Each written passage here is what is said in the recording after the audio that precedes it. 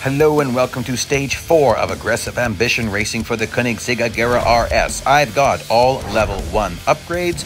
Do not start this event without 2.5 million R dollars and 500 gold to spend.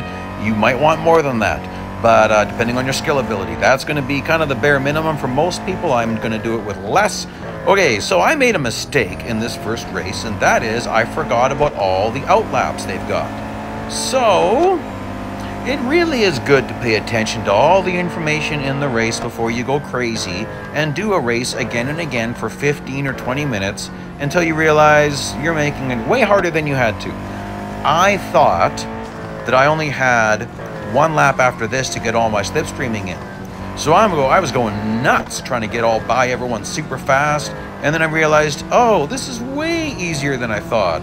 So this is not a hard race but I was making it really hard on myself. This Lamborghini is, uh, I think, is what is it now? I didn't really look this up. Centenario, Centenario. It starts with cent, anyways, and uh, must have something to do with 100 if it starts with cent.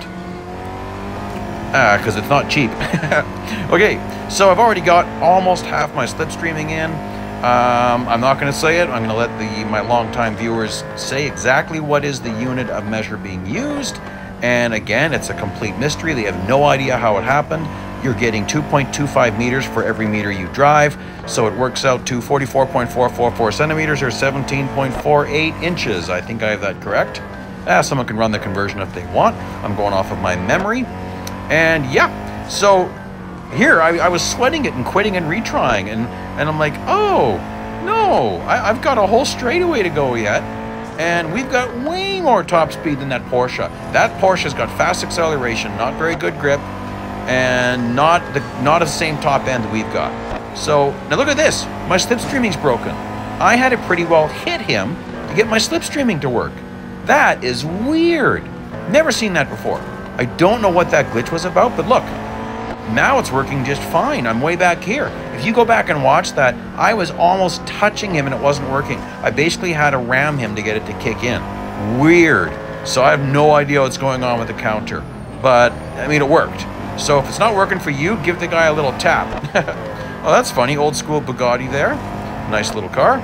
So obviously not near as difficult as I thought once I actually paid attention to the race. Read first. Pay attention, ME7. Okay. Classic mistake I've made. Anyhow. Okay, so that's going to wrap up the first race. Uh, again, I've got level 1 upgrades. There's the earnings. On to the next one. So it's interesting. I like these multiple requirement races. So we've got a 10 overtakes to make, and we've got a speed target that we've got to hit five times. I don't think it's a very hard speed target to hit. Woo! I really, boy, I hit him pretty good, didn't I? Obviously didn't hit speed yet. Veneno, interesting. Veneno, oh, that car has got a sore spot for me. My problem with the Veneno is it's the second most expensive car to fully upgrade, and it is nowhere near worth it. It just feels sluggish and heavy. I love the car, it looks amazing, but I just was so mad when I fully upgraded it. I'm like, what? This car feels horrible. So it feels horrible for the amount of currency you spend. That's what I mean by that. There's cars that are substantially cheaper to fully upgrade and are way more enjoyable to drive. So never upgrade the Veneno without a massive sale. Honestly, that's that's my opinion. Just don't do it. You're, you're gonna really regret it. Okay, so obviously I've already hit all my speed targets. That's easy. And I'm getting in my overtakes. Eventually you gotta play with someone a little bit, go back and forth a few times. Uh, this is another Lamborghini that is not, he does not have very good grip. So very easy, very good car. Really good looking car, don't get me wrong. It's just not much of a car really. So come on, let's go. Where are you? I mean, I know I've got a ridiculous amount of speed in this car. My Agera RS is going to really outpace that car. And yeah, not very difficult. I mean, cars are eliminating. You got to get all this done though before that timer runs out. Because, uh, so I've only got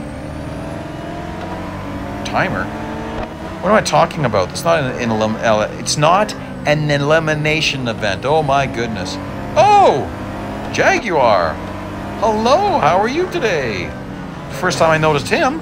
I mean, he might have been in, in there in other races. I didn't notice him. Very nice. Nice to meet you, Mr. Jaguar.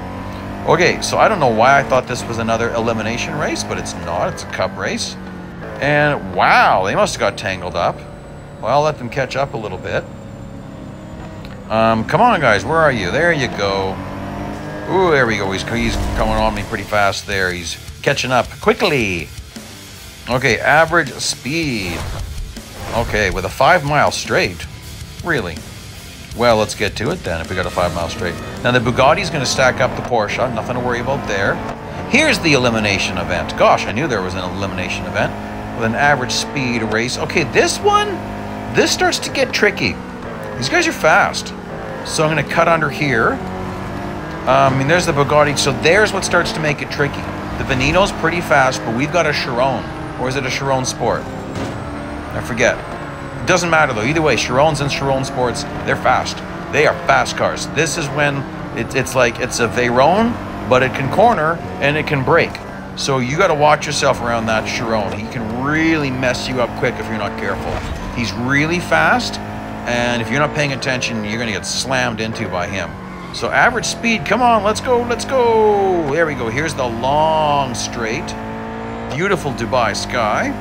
Well, it's the same sky, I guess, but it looks really nice with the Dubai buildings in the background. Okay, so there's my average speed. Good, good. Let's go. Berg is eliminated. Some of these elimination events with average speed get so tricky because you're desperately trying to keep your speed up.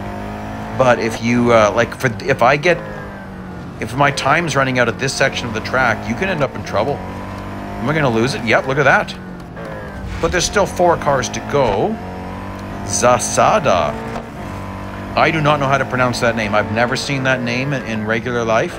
If that's someone's name, let me know if you've got that name. I don't know. Huh. I haven't seen that name before. Uh, so I apologize if I horribly mispronounced your name. Please forgive me.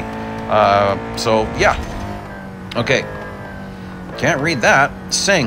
That one, uh, Sing, I know that name. Okay, average speed is a little bit better. Oh, look at this. I'm going to be encountering... Oh, good. Speed, I'll have a speed run before I have to slow down very much. But look at that. I'm encountering the back section. So that's... Oh, that's white. This is right where I lost last time. Woo! Come on, come on. Oh, I got 15 more seconds left. Duh! Sorry, guys. I'm getting too wrapped up in things here. Okay, so that means no trouble at all because you're getting. Oh, but look how low my speed is. Honestly, that that's that's a bit troublesome. Again, don't sweat it too much. You're definitely going to need gold upgrades. Okay, there we go. And I'm going to keep going because I actually lost this race once by slowing down after it said the last guy was eliminated because this is an old school event. This one is tricky with the overheating. Now, now is where that Bugatti Chiron really gives you a big, a big amount of trouble. I don't get it. I'm starting with an overheating engine from a dead stop? I mean, they said the Dubai heat, but oh, okay. Okay, so we got to watch out here. Jaguar doing a big drift slide there. There's a nice Chiron. I decided to shove him off track a little bit just to get things slowed up. Okay, so here is where you have to have been paying attention in the past. Where did the where did the bots want to drive? Drive there. Look at this. See, I'm trying keeping a little bit of speed going, but I'm driving where he wants to drive. So that should keep him behind me unless they get stacked up. That's when there can be trouble. That's where you suddenly get someone trying to overtake you. That's when you can, can get the pit maneuver done to you because you end up with cars getting too wide. Okay, it's just me and the Chiron. That should be okay to manage then. Okay, look at that. Like I said, he's fast. Ooh, look at his braking ability. I mean, I was braking a little bit early, but wow, look at that. He's right there, eight meters. So, woo boy. So you got to really watch where he's going to be so you don't end up getting in trouble. Because you could, e you could easily give yourself the pit maneuver by accident. Now here, where's where I can, you notice I'm doing a lot of coasting?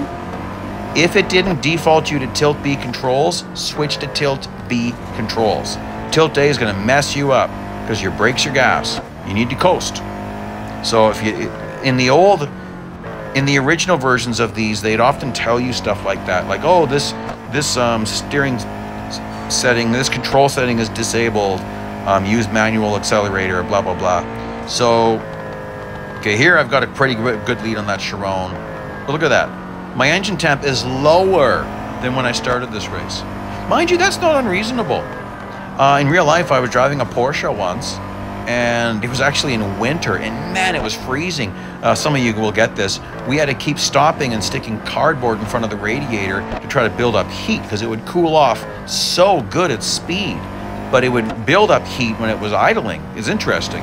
Obviously, it's the sports car, it's, it's meant to go fast. So I was freezing because it was pretty cold outside. Parts of Canada get very cold. In fact, it's supposed to snow where I live tonight, which is strange. It's kind of late for us. We're into spring. But anyhow, there you go. Please like, subscribe. Keep checking out the whole series. There you can see the upgrades. And yeah, I'll see you again real soon. Hope you're enjoying this one. Thanks for joining me today.